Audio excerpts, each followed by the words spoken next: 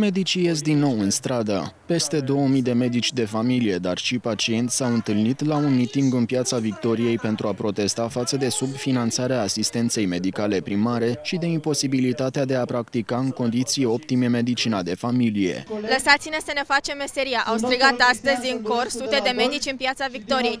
Ei se plâng de faptul că nu sunt lăsați să-și exercite liber meseria din cauza birocrației și a problemelor financiare. Vrem ca meseria noastră să fie realizată așa cum suntem pregătiți să o facem.